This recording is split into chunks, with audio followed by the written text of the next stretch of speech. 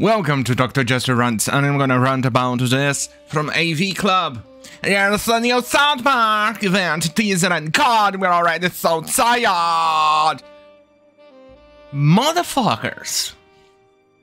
And this is the guy, a, a person who is getting utterly triggered after the trailer.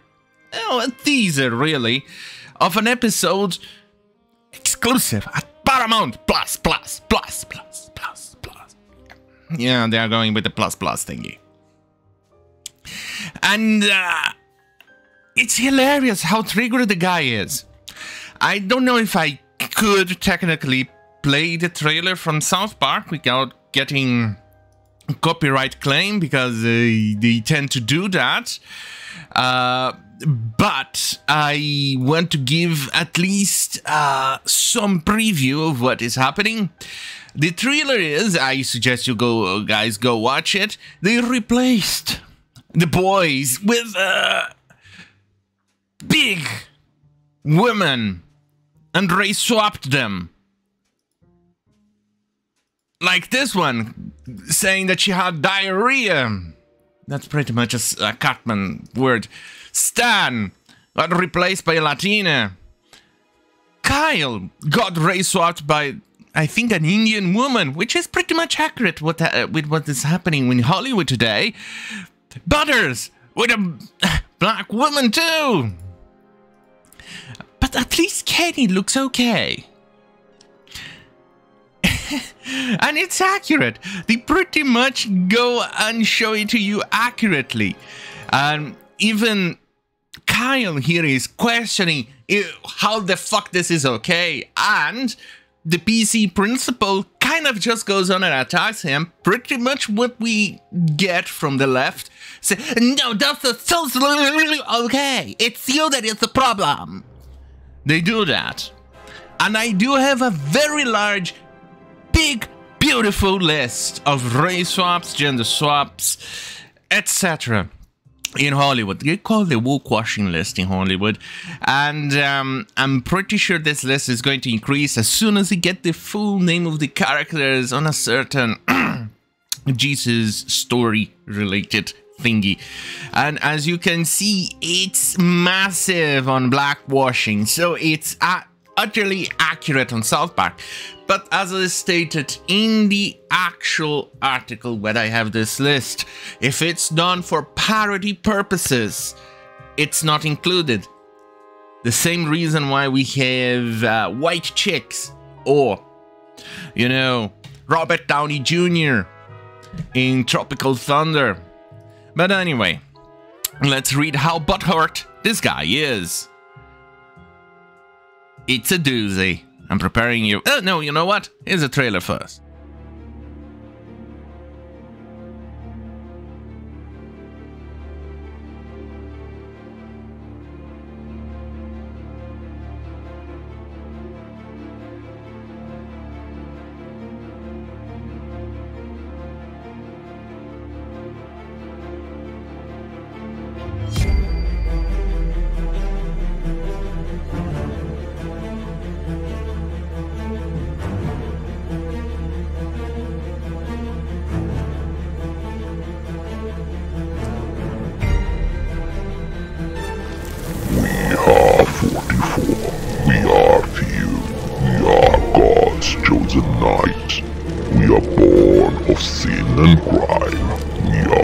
Are repentance personified.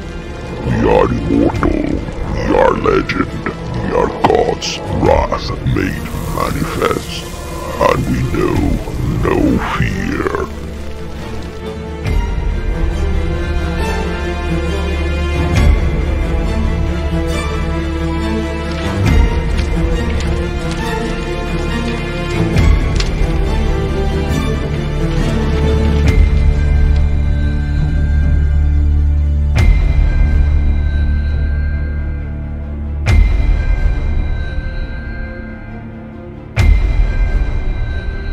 Right.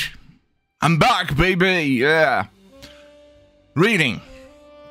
The stupidity The upshot for us, though, is that the long-running series can kind of sneak up on you sometimes, meaning that something like the new trailer teaser for South Park joining the Panderverse, released earlier today, can hit you with no time for preparation and woof!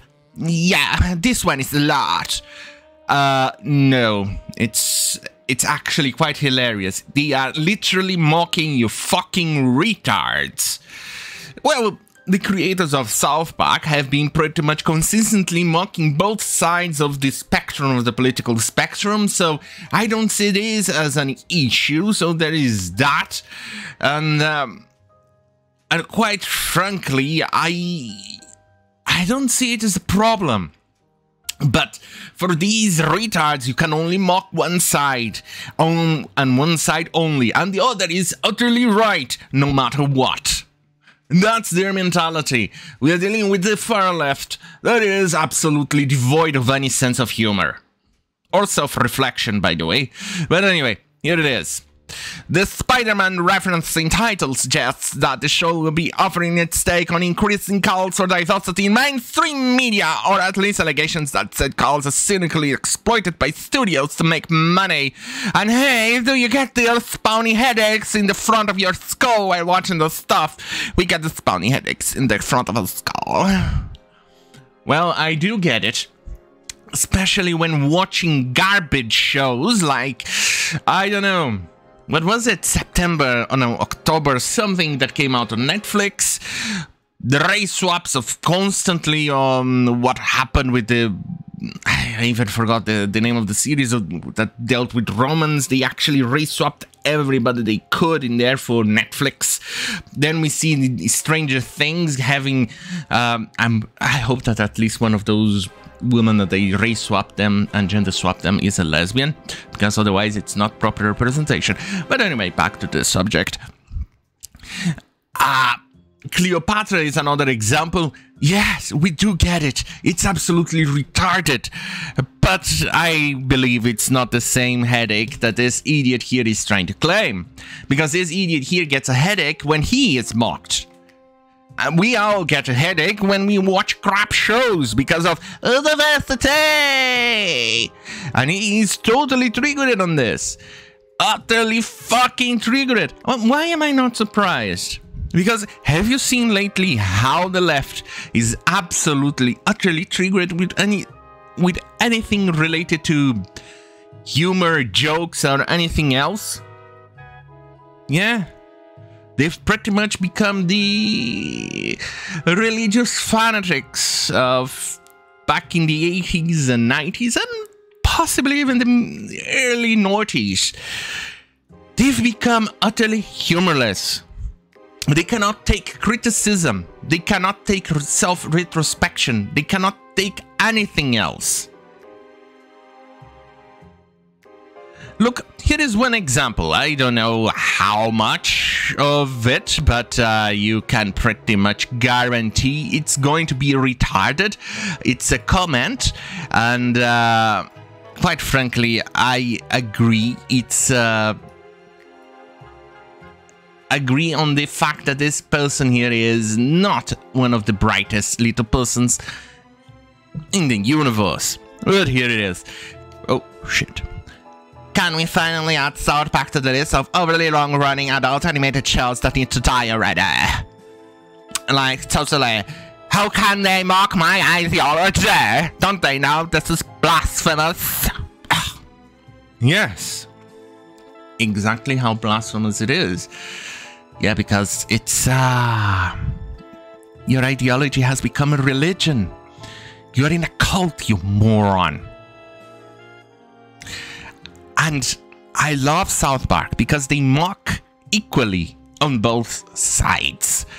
There was one mocking of in the last season in which they mocked Trump. That one felt a bit weak. Didn't feel as good as the other times they mocked Trump.